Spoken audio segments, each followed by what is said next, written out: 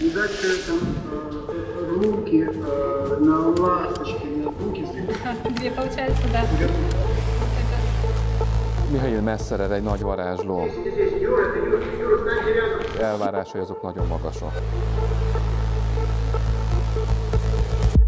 Technikai truvájnak hívnám.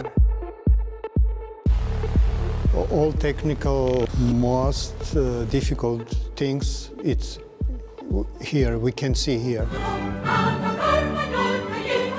A Magyar Nemzeti Balett művészei Vasili Vajnonen Párizs lányai című balettjéről beszélnek. A balettmesterek és a táncosok is egyetértenek abban, hogy egy elképesztően nehéz és technikás koreográfiát álmodott meg Boris Asafjev zenéjére, a világ egyik legjobb balettmestereként és koreográfusaként számon tartott Mihály Messzerer.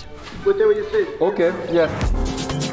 A magas elvárások nem ismeretlenek a táncosoknak, hiszen az elmúlt évek során a Magyar Nemzeti Balett Társulata többször is dolgozott együtt a világhírű koreográfussal.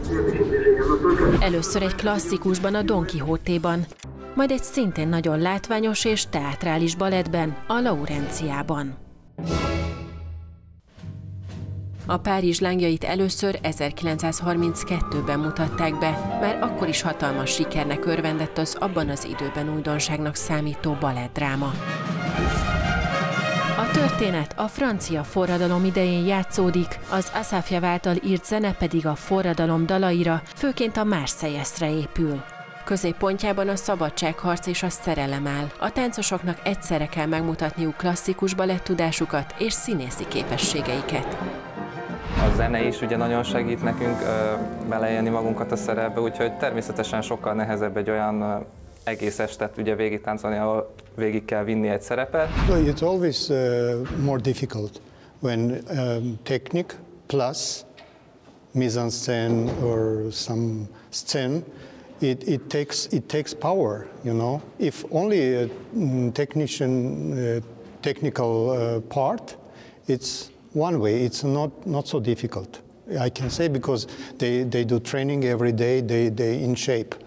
But in ballet they lose their power and when they simple walk and uh, start mise en scène it takes it takes uh, power and time and everything. It's more difficult Balázsi Gergő Árminnak egy rövid, de annál technikásabb szerep jutott az első felvonásban. Ő alakítja Antoine Mistrált, a híres színészt.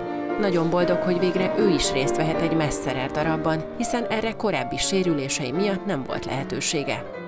Azt gondolom, hogy ez úgy megtalált engem ez a szerep, mert nagyon, nagyon is szeretem csinálni, és úgy azt érzem, hogy így beleillek ebbe a szerepbe. Ez egy ilyen nagyon elegáns, szerintem nagyon nehéz szerep, mert mindennek a helyén kell lennie, nagyon elegánsnak kell lenni, tényleg úgy kell tűnnie, mint hogyha mi se történne, holott, holott nagyon nehéz technikai elemekkel van tele.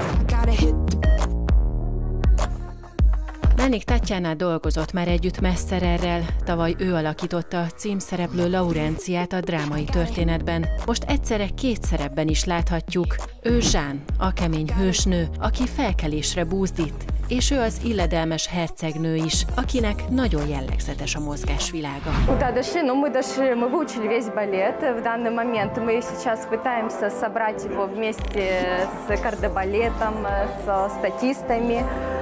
А насколько утомительно, ну, как, я не могу сказать, это не утомительно, просто, как можно сказать, сейчас мы не совсем в той физической форме, как, допустим, мы были до карантина. И, конечно, для нас сейчас немножко тяжело по силам, по дыханию. Вот, как бы, вот это утомительно. Очень, очень хочется вернуть обратно вот свою силу, вот это вот, когда ты не устаешь и можешь работать сутками напролет. A karantén nem csak a táncosok erőlétére van hatással, hanem a próba folyamatokra is, hiszen a balett újra gondolt koreográfiájának megálmodója Mihály Messzerer csak online lehet jelen a próbákon. Good. Yes, we can hear you well. A mester évek óta dolgozik együtt a Magyar Nemzeti Balett együttessével, a közös munka pedig a körülmények ellenére most is zöggenőmentes.